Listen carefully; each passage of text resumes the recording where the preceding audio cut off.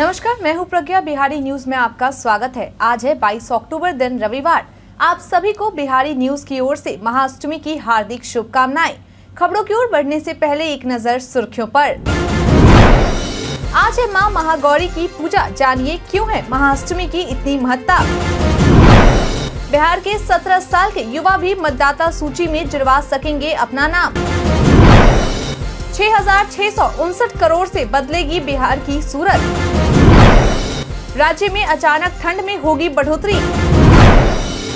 पिछले विश्व कप में न्यूजीलैंड से मिली हार का बदला लेने उतरेगी टीम इंडिया। अब चलिए बढ़ते हैं बिहार के अब तक की 25 बड़ी खबरों की ओर विस्तार से।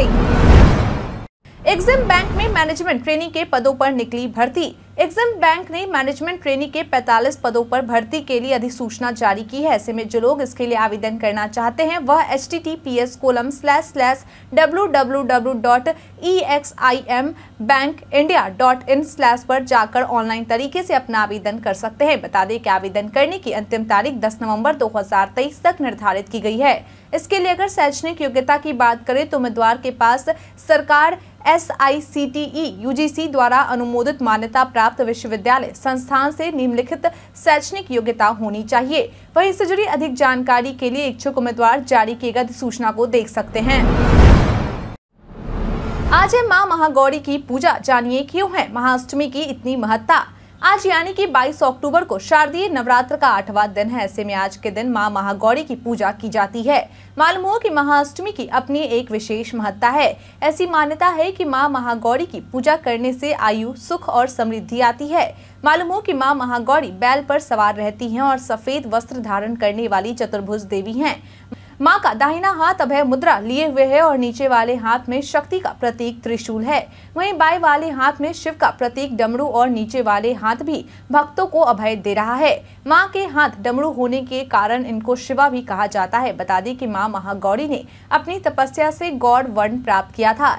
ऐसा कहा जाता है कि उत्पत्ति के समय यह आठ वर्ष की थी, इसलिए इन्हें नवरात्र के आठवें दिन पूजा जाता है। वहीं यह भी माना गया है कि जो लोग नवरात्रि के नौ दिन व्रत नहीं रख पाते हैं, वह केवल पड़वा और अष्टमी यानी कि आज अगर व्रत रख लेते हैं तो उन्हें पूरे नौ दिन के व्रत का फल मिलता है।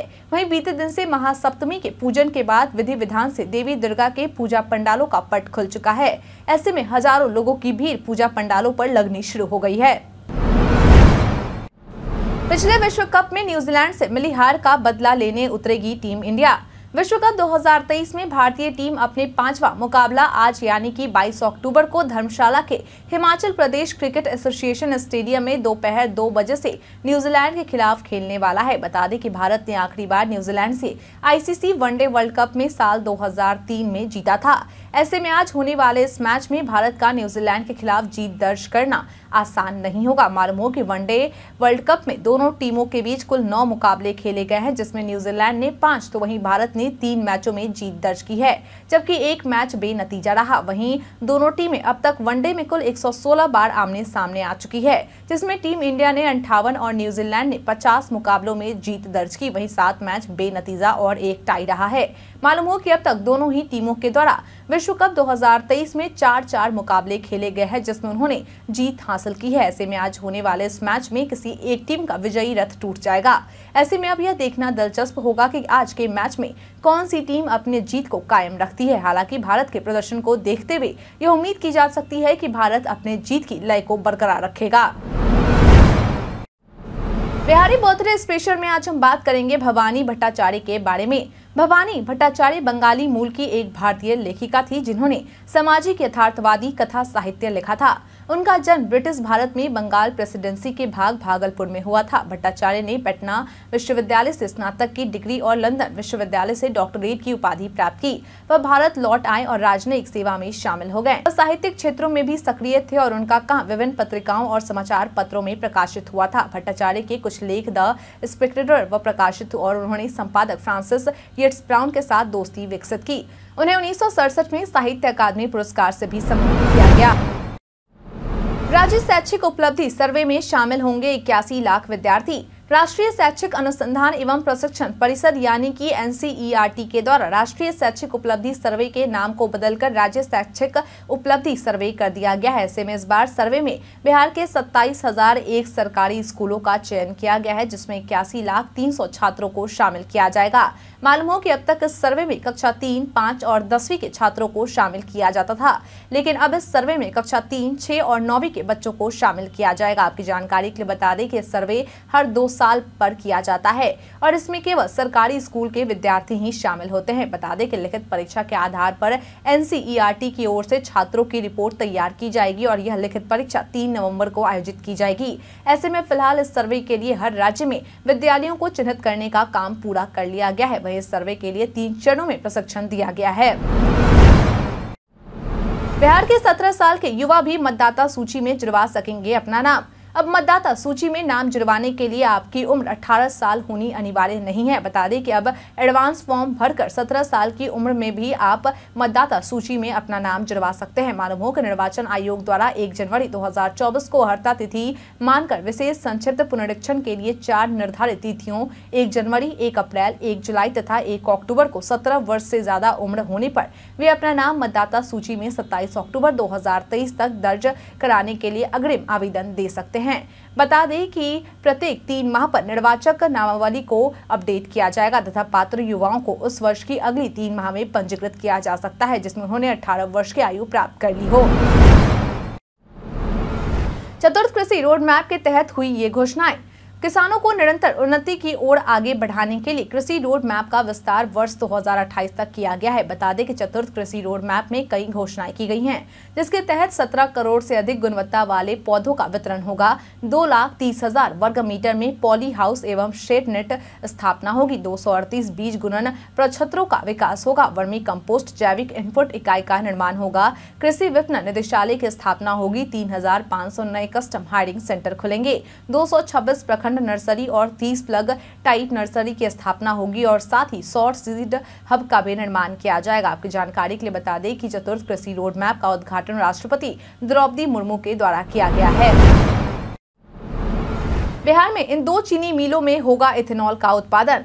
पश्चिम चंपारण के सांसद और बीजेपी के पूर्व प्रदेश अध्यक्ष रहे डॉक्टर संजय जायसवाल के द्वारा बेतिया में बीते दिन जानकारी देते हुए बताया गया कि बिहार के चंपारण के सुगौली और लौरिया चीनी मिल में अब गन्ने के सीज़न में चार महीने गन्ना से और उसके बाद छह महीने मक्का और ब्रोकन राइस के ज़रिए इथेनॉल का उत्पादन किया जाएगा। बता दें कि यह पहल केंद्र सरकार की ओर से शुरू की गई है, जिससे चंपारण के किसानों को काफ़ी लाभ पहुँचने वाला है। इस दिशा में केंद्र सरकार की ओर से एक करोड़ रूपए आवंटित किए गए हैं और साथ ही इसकी ज़िम्मेदारी केंद्र सरकार की ओर से एच बायोफ्यूल्स को सौंपा गया है। डॉक्टर संजय जायसवाल के द्वारा दी गई जानकारी के अनुसार सुगौली और लौरिया चीनी मिल के लिए टेंडर की प्रक्रिया पूरी हो गई है। बिहार के ट्रेनों में भारी भीड़, फ़्लाइट किराया भी हुआ महँगा। दुर्गा पूजा में सभी अपने घर पहुँच रहे हैं। ऐसे में बिहार आने वाली ट्रेनों में भारी भीड़ देखी जा रही है। ट्रेनों में टिकट की मारा मारी चल रही है। वहीं ट्रेनों में भीड़ होने की वजह से लोग हवाई मार्ग का भी इस्तेमाल कर रहे हैं, जिस कारण अब फ्लाइट्स के किराए में भी काफ़ी बढ़ोतरी हो गई है। बता दें कि दिल्ली पटना हवाई मार्ग पर किराया लगभग अठारह हज़ार के पार पहुँच गया है। वही अगर ट्रेनों की बात करें तो स्लीपर ट्रेनों में जितनी सीटें हैं, उससे तीन गुने यात्री सवार होकर पटना, दानापुर और पाटलिपुत्र जंक्शन पहुँच रहे हैं। बेंगलुरु, पुणे, नई दिल्ली से आने वाली ट्रेनों में इसका खूब असर दिख रहा है। मालूम हो कि पटना में दशहरा मेला सप्तमी से लेकर नौवीं तक रहता है। बता दें कि गया, आरा और मुकामा की ओर से आने वाली पैसेंजर ट्रेनों में भी भीड़ उमड़ती है। छह हज़ार छह सौ उनसठ करोड़ से बदलेगी बिहार की सूरत। नगर निकायों में स्वास्थ्य शिक्षा और आधारभूत संरचना विकसित करने के लिए वित्तीय वर्ष 2024-25 में छह हज़ार छह सौ उनतालीस करोड़ रुपए अनुदान के रूप में दिए जाएँगे। बता दें कि राशि छठवें राज्य वित्त आयोग की अनुशंसा पर मिलेगी जिसमें से 3,706 करोड़ डिवोलेशन फंड होगा और 2,633 करोड़ अनुदान। मालूम हो कि बिहार के विकास और प्रगति के लिए छठवें वित्त आयोग की अनुशंसा के बाद यह राशि मिलेगी। इस राशि से नगर निकायों में स्वास्थ्य शिक्षा और अन्य क्षेत्रों में सुधार किया जाएगा। इसके साथ ही तीन सौ करोड़ रुपए अतिरिक्त विशेष पैकेज के रूप में भी दिए जाएँगे। गौरतलब है कि सोलवे वित्त आयोग की अनुशंसा के आधार पर 2025-30 की अवधि हेतु तो केंद्रीय करों में राज्यों की हिस्सेदारी और दूसरी वित्तीय सुविधाएँ तय होंगी। अभी पंद्रहवे वित्त आयोग की अनुशंसा के आधार पर वित्तीय आवंटन हो रहा है। बिहार पर्यटन में आज हम बात करेंगे शीतला माता मंदिर के बारे में। कंकड़बाग कुम्हरान रोड के पूरब में गांधी सेतु के नीचे से होते हुए शीतला माता का मंदिर स्थित है। यह हिंदू देवी माँ दुर्गा का एक उपासना पीठ के साथ साथ शक्ति पीठ भी माना जाता है। इतिहासकारों के मुताबिक 2500 वर्ष पूर्व यहाँ कुआ एवं वर्तमान नव पिंडी थी, जो छोटे मंदिर में स्थापित थी। मंदिर के मुख्य द्वार के पूरब में ही शीतला माता का मंदिर है। मंदिर के दरवाजे के पूरब एवं दक्षिण कोने पर शीतला माता की खड़ी मूर्ति है। शीतला माता के मूर्ति के दाहिने त्रिशूल तथा उसके दाहिने पिंडी रूप में योगिनी विराजमान है। शीतला माता की मूर्ति के बाएँ अंगार माता की छोटी मूर्ति है। दरवाजे के भीतर पिंडी रूप में सात शीतला एक भैरव एवं एक गौड़ैया है, जो गुम्बज के ठीक नीचे स्थापित है। इस मंदिर से सटे पूरब में ही ऐतिहासिक अगम कुआँ है। अगम कुआँ के नाम से प्रसिद्ध इस कुएँ की खुदाई सम्राट अशोक के काल दो सौ ईस्वी पूर्व की गई थी। इस कुएँ की खासियत यह है कि इतना पुराना कुआँ होने के बाद भी यह कभी नहीं सूखता है।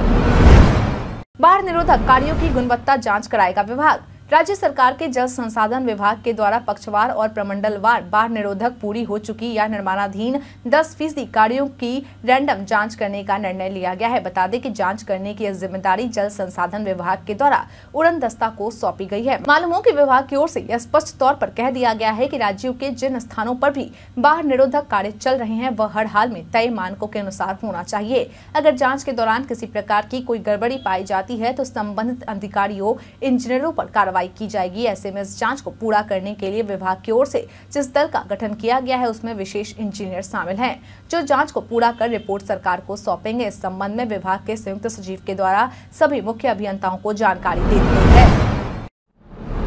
उद्योग विभाग ने बिहार लॉजिस्टिक पॉलिसी 2023 के बारे में दी जानकारी। बीते दिन उद्योग विभाग के अपर मुख्य सचिव संदीप पौडरिक के द्वारा मुख्यमंत्री नीतीश कुमार के समक्ष एक अने मार्ग स्थित नेक संवाद में प्रस्तुतिकरण के माध्यम से बिहार लॉजिस्टिक पॉलिसी 2023 के प्रारूप के बारे में जानकारी दी गई। बता दें कि उन्होंने इस नीति में समाहित परियोजनाएँ, प्रोत्साहन के लिए अनुदान आदि से संबंधित विस्तृत जानकारी दी। इस दौरान सीएम नीतीश के द्वारा कहा गया कि बिहार में उद्योग को प्रोत्साहित करने के लिए कई कदम उठाए गए हैं। उन्होंने कहा कि हमारे द्वारा ऐसी पॉलिसी बनाई गई है, जिससे अधिक से अधिक निवेश हो सके और यहाँ रोज़गार का अवसर भी सृजित हो। कोरोना काल के दौरान भी हम लोगों ने बिहार के बाहर काम करने वाले लोगों को यहाँ आकर अपना काम शुरू करने के लिए प्रोत्साहित किया है। उन्होंने कहा कि हमारे द्वारा लगातार लोगों के हित में काम किया जा रहा है। ई पंचायत बिहार पोर्टल से पाए ये जानकारी। बिहार सरकार के पंचायती राज विभाग के द्वारा लोगों तक योजनाओं की जानकारी पहुँचाने में ई पंचायत बिहार पोर्टल काफ़ी सहायक हो रहा है। बता दें कि राज्य में 8,628 त्रिस्तरीय पंचायती राज संस्थाएँ हैं। वहीं राज्य में चलाई जा रही योजनाओं की जानकारी ई पंचायत बिहार पोर्टल पर उपलब्ध है। मालूम हो कि इस पोर्टल की मदद से योजनाओं के बारे में पूरी जानकारी जैसे योजनाओं के प्रारंभ एवं अंत होने की तिथि योजनाओं की अनुमानित राशि योजनाओं में किए गए भुगतान की राशि और योजनाओं के अद्यतन प्रगति की फ़ोटो फ़ोटो उपलब्ध होगी। बता दें कि इन सभी जानकारियों को कोई भी व्यक्ति ई पंचायत बिहार पोर्टल पर कहीं से भी देख सकता है। ई पंचायत बिहार पोर्टल का website H T T P S colon slash slash P R D N I S C H A Y S O F T dot B I H dot N I C dot in slash e gram slash default dot A S P X hashtag है। पूजा पंडालों के पीछे अनिवार्य रूप से रखने होंगे पानी भरे ड्राम। अग्निशमन महकमा के द्वारा राज्य में दुर्गा पूजा के मौके पर सजने वाले सभी पंडालों में सुरक्षा के मानक को लेकर कई मानक निर्धारित किए गए हैं, जिसके तहत यह अनिवार्य कर दिया गया है कि सभी पूजा पंडालों को अपने पीछे एक या दो बड़े ड्राम में 200 लीटर पानी भरकर रखना होगा, ताकि किसी तरह की आपात स्थिति में इसका तुरंत इस्तेमाल किया जा सके और स्थिति पर नियंत्रण पाया जा सके। इसके अलावा वैसे पंडाल जो बड़े या अधिक भीड़ वाले हैं, वहाँ विशेष तौर पर अंदर की तरफ़ से अग्निरोधी घोल लगाने होंगे और अगर संभव हो तो पंडाल के बाहर की तरफ़ से भी घोल लगाया जा सकता है। वहीं दीपक या धूप बत्ती को पंडाल के बाहर जलाने की व्यवस्था करने को कहा गया है। ऐसे में जिन पंडालों के द्वारा अग्निशमन विभाग के द्वारा दिए गए दिशा निर्देशों का पालन नहीं किया जाएगा, उनके लाइसेंस को रद्द कर दिया जाएगा और साथ ही इनके खिलाफ मामला भी दर्ज हो सकता है। राज्य में अचानक ठंड में होगी बढ़ोतरी। बिहार में मौसम का मिजाज दिन प्रतिदिन बदल रहा है। बदलते हालात के बीच में अब लोगों को ठंड सताने लगी है। मौसम विभाग के अनुसार प्रदेश के कई जिलों में सुबह के समय हल्का कोहरा रहने की संभावना है। इस दौरान हवा में ठंडक बनी रहेगी। इस दौरान लोगों को हल्की हल्की सिहरन महसूस होगी। हालाँकि मौसम विभाग की तरफ़ से जारी अपडेट के अनुसार दिन लोगों को हल्की चुभन भरी गर्मी रहेगी। विभाग की तरफ़ से यह भी कहा गया है कि दिन के तापमान में बढ़ोतरी होगी। साथ में रात में तापमान में कमी भी देखने को मिलेगी। मीडिया में चल रही खबरों की माने तो अगले चार दिनों तक मौसम पूरी तरह से शुष्क बना रहेगा। हालाँकि इस दौरान आसमान में बादल छाए रहने और बारिश होने की संभावना न के बराबर है। इस दौरान 28 से 30 डिग्री अधिकतम तापमान रहने की संभावना जताई गई है। विभाग की माने तो प्रदेश के उत्तर पश्चिम और दक्षिण पश्चिम बिहार में सुबह में कोहरा छाए रहने की संभावना है। शराब तस्करी का अनोखा तरीका आया सामने। बिहार में शराब बंदी है, लेकिन इसके बावजूद भी शराब तस्करों के द्वारा नए नए तरीके निजात कर शराब तस्करी किया जा रहा है। बता दें कि ताज़ा मामला बिहार के गोपालगंज का है, जहाँ पुलिस के द्वारा वाहन जाँच के दौरान कुचाईकोट थाना क्षेत्र के बथना कोटी एन एच के पास यूपी की ओर से आ रहे एक बाइक के सीट के नीचे छिपाकर रखी गई चौसठ टेट्रा पैक विदेशी शराब बरामद की गई है। इसके साथ ही पुलिस के द्वारा एक तस्कर की भी गिरफ्तारी की गई है, जिसकी पहचान उचंका गाँव थाना क्षेत्र के दही भातार गाँव निवासी धर्मराज के रूप में की गई है। इस बारे में उत्पाद अधीक्षक राकेश कुमार के द्वारा जानकारी देते हुए बताया गया है कि वाहन जाँच के दौरान यह कार्रवाई की गई है। यूपी की ओर से आ रहे बाइक सवार को रोककर तलाशी लेने के क्रम में बाइक के सीट और टंकी में छिपाकर रखी गई चौसठ पीस ट्रिट्रा पैक विदेशी शराब बरामद की गई है। उन्होंने बताया कि तस्कर को गिरफ़्तार कर न्यायिक हिरासत में भेज दिया गया है। कृषि वानिकी पॉपुलर योजना अंतर्गत पाए कम समय में तैयार होने वाले पॉपुलर प्रजाति के पौधे। बिहार सरकार के सूचना एवं जनसंपर्क विभाग के द्वारा दी गई जानकारी के अनुसार कृषि वानिकी पॉपुलर, यानी कि ईटीपी योजना अंतर्गत कम समय में तैयार होने वाले पॉपुलर प्रजाति के पौधे किसानों, लाभुकों व उद्यमियों को प्रदान किए जाते हैं। बता दें कि इस योजना के तहत वन विभाग के स्थानीय पौधशाला से दस रूपए सुरक्षित मूल्य की दर से पौधे प्राप्त किए जा सकते हैं। वहीं तीन वर्षों के बाद पचास प्रतिशत से अधिक उत्तर जीविता रहने पर साठ रूपए प्रति पौधा प्रोत्साहन राशि तथा सुरक्षित मूल्य दस रूपए भुगतान किए जाने का प्रावधान है। आपकी जानकारी के लिए बता दें कि इस योजना के तहत लगाए गए पौधे पर संपूर्ण अधिकार किसान बंधुओं का होगा। मालूम हो कि अगर हम इस योजना के तहत उपलब्धि की बात करें तो वित्तीय वर्ष 2012-13 से 2021-22 तक कुल तीन लाख पौधारोपण इस योजना की मदद से किया गया है। इस योजना से जुड़ी विस्तृत जानकारी के लिए स्थानीय वन प्रमंडल या वन प्रक्षेत्र कार्यालय से संपर्क करें या शून्य छह एक दो दो दो दो छह नौ एक एक या नौ चार सात तीन शून्य चार पाँच नौ नौ दो पर कॉल भी कर सकते हैं। इसके अलावा स्क्रीन पर दिखाए गए वेबसाइट पर भी जा सकते हैं। अब तीन मिनट की क्लास देकर गूगल सिखाएगा अंग्रेज़ी बोलना। गूगल जल्द ही Bharat, Indonesia, Argentina, Colombia, Mexico और वेनेजुएला में पर्सनलाइज्ड फीडबैक फीचर लॉन्च करने वाला है, जो यूज़र्स को अंग्रेज़ी सीखने में मदद करेगा। अगर आपकी अंग्रेज़ी कमज़ोर है या वो कैबलरी में आपको परेशानी होती है तो अब गूगल आपकी समस्या को दूर करेगा। जब आप गूगल पर कोई शब्द ट्रांसलेट के लिए सर्च करेंगे तो आपको एक पॉपअप दिखेगा, जो आपको अंग्रेज़ी सीखने के लिए कहेगा। दरअसल, जब भी आप गूगल सर्च के माध्यम से कोई शब्द अंग्रेज़ी से, हिंदी या हिंदी से अंग्रेज़ी में ट्रांसलेट करेंगे तो कंपनी आपको एक प्रैक्टिस प्रैक्टिस का ऑप्शन दिखाएगा, जिस पर क्लिक करते ही चार से पाँच स्लाइड्स वाला एक ट्यूटोरियल पेज ओपन हो जाएगा। यहाँ गूगल आपसे कई सवाल पूछेगा, जिसका जवाब आपको देना होगा। गूगल आपके जवाब के आधार पर तीन से चार दूसरे सेंटेंस भी दिखाएगा और ये भी बताएगा कि किस तरह आप अलग अलग तरीके से वह बात कह सकते हैं। इसके अलावा कंपनी आपको ग्रामर से जुड़ा फीडबैक भी देगा, जो आपको ये बताएगा कि आपके वाक्य में गलती क्या है और सही वाक्य क्या है। ये सभी आपको हर स्लाइड में देखने को मिलेगा। इसके साथ ही हर वाक्य की वो कैबलरी भी उपलब्ध होगी। चुनाव ड्यूटी के दौरान दिव्यांगता या मृत्यु पर 30 लाख तक का अनुदान। वित्त विभाग के प्रधान सचिव अरविंद कुमार चौधरी के द्वारा अधिसूचना जारी कर यह जानकारी दी गई है कि बिहार में चुनाव ड्यूटी के दौरान चुनाव कर्मियों या सुरक्षा कर्मियों के उग्रवादी हथियार बंद हमला, हिंसक गतिविधि व कोरोना से मृत्यु हो जाती है तो उन्हें तीस लाख रूपए तक दिए जाएँगे। वहीं अगर अन्य कारणों से मृत्यु होती है तो उन्हें पंद्रह लाख रूपए दिए जाएँगे इसके अलावा अगर चुनाव कर्मियों या सुरक्षा कर्मियों को उग्रवादी या हिंसक गतिविधि में स्थायी दिव्यांगता हो जाती है तो उन्हें पंद्रह लाख रूपए दिए जाएँगे और अगर गंभीर चोट लगने के कारण स्थायी दिव्यांगता होती है तो चुनाव कर्मियों या सुरक्षा कर्मियों को सात दशमलव पाँच लाख रुपए दिए जाएँगे। बता दें कि अधिसूचना के मुताबिक राष्ट्रपति, उपराष्ट्रपति चुनाव व उपचुनाव में शर्तों के तहत अनुग्रह अनुदान मिलेगा। तेजस्वी यादव के कंधे पर सीएम नीतीश ने हाथ रखकर कहा ये।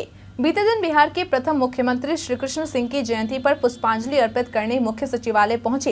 बिहार के मुख्यमंत्री नीतीश कुमार के द्वारा मीडिया से बातचीत करते हुए उप मुख्यमंत्री तेजस्वी यादव को लेकर एक बड़ी बात कह दी गई है, जिसके बाद राजनीतिक गलियारों में चर्चा शुरू हो गई है। दरअसल, सीएम नीतीश के द्वारा बिहार के उप मुख्यमंत्री तेजस्वी यादव के कंधे पर हाथ रखा गया और कहा गया की ये बच्चा ही हम लोग का सब कुछ है। उन्होंने कहा की हम साथ मिलकर प्रदेश में अच्छा काम कर रहे हैं। ऐसे में नीतीश कुमार के द्वारा दिए गए इस बयान के बाद सियासी गलियारों में बयानबाजी तेज हो गई है।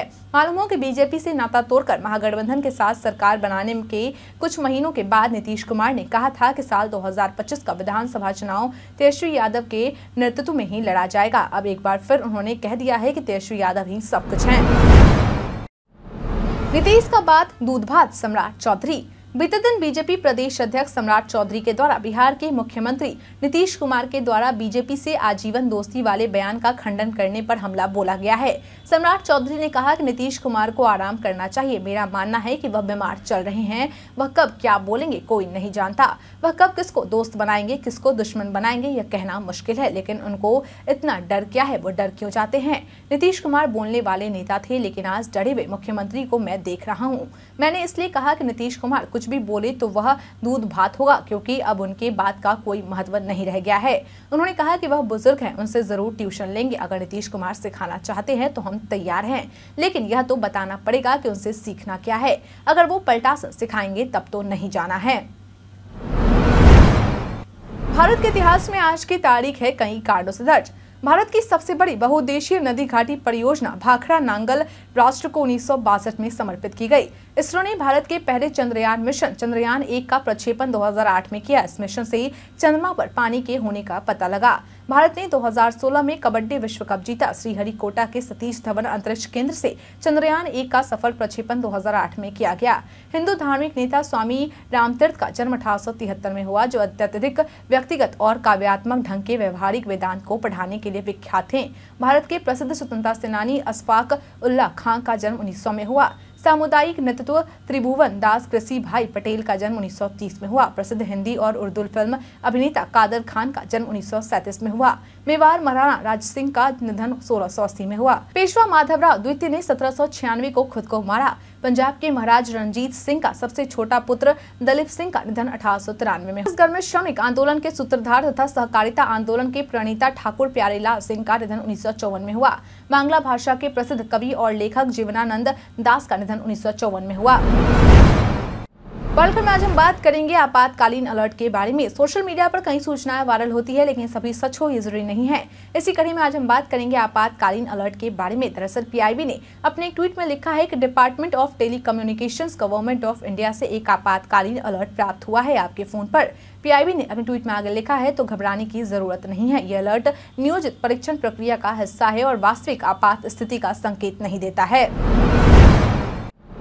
इसरो का गगनयान मिशन चंद्रयान से 14 गुना महँगा है मिशन। बीते दिन इसरो के द्वारा गगनयान मिशन का पहला बड़ा ट्रायल पूरा किया गया, जो कि दूसरी बार में सफलतापूर्वक पूरा हो गया।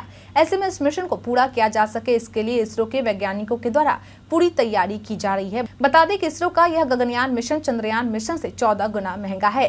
मालूम हो कि गगनयान मिशन भारत का पहला ह्यूमन स्पेस मिशन है, जो तीन दिन का होगा। इस मिशन के तहत तीन सदस्यों के ग्रुप को 400 किलोमीटर ऊपर पृथ्वी की कक्षा में भेजा जाएगा और फिर क्रू मॉड्यूल की सुरक्षित रूप से समुद्र में लैंड कराया जाएगा। बता दें कि अगर भारत का यह मिशन सफल हो जाता है तो भारत ऐसा करने वाला अमेरिका, चीन और रूस के बाद चौथा देश बन जाएगा। मीडिया में चल रही खबरों के अनुसार इस मिशन के लिए करीब नब्बे अरब रुपए का बजट आवंटित किया गया है। हम प्रतिदिन आपसे पाँच ऐसे ज़रूरी सवाल और उससे जुड़े जवाब बताएँगे, जो कि बीपीएससी बिहार पुलिस, दरोगा समेत एसएससी जैसे अन्य प्रतियोगी परीक्षाओं में काम आएँगे। सवाल इतिहास, बिहार स्पेशल विज्ञान, करंट अफेयर्स और भूगोल से रहेंगे। पूछे गए पाँचों सवाल में आपने कितना सही उत्तर दिया, कृपया करके यह हमें कॉमेंट करके ज़रूर बताएँ। हमारा पहला सवाल है, हाल ही में राष्ट्रीय फ़िल्म पुरस्कार 2023 में सर्वश्रेष्ठ अभिनेता का अवार्ड जीतने वाले पहले तेलुगु एक्टर कौन बने हैं? Option A Allu Arjun option B Mahesh Babu option C Prabhas option D Ramcharan.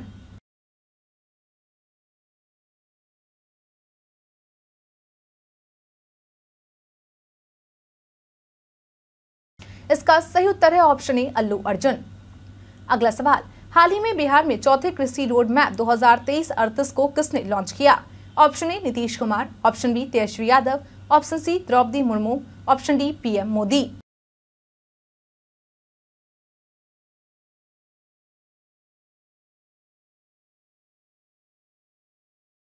इसका सही उत्तर है ऑप्शन सी, द्रौपदी मुर्मू।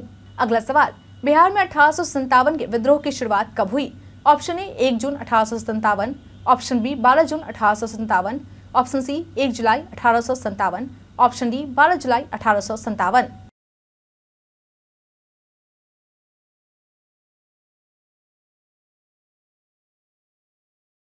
इसका सही उत्तर है ऑप्शन बी 12 जून अठारह अगला सवाल, अठारह के विद्रोह में बिहार के किस जमींदार ने अंग्रेज़ों के विरुद्ध युद्ध किया?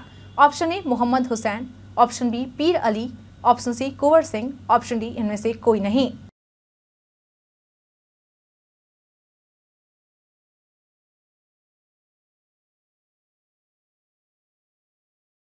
इसका सही उत्तर है ऑप्शन सी कुंवर सिंह। अगला सवाल, महात्मा गांधी का पहली बार बिहार आगमन कब हुआ? Option A 10 April 1917 option B 17 April 1917 option C 21 April 1918 option D 11 June 1919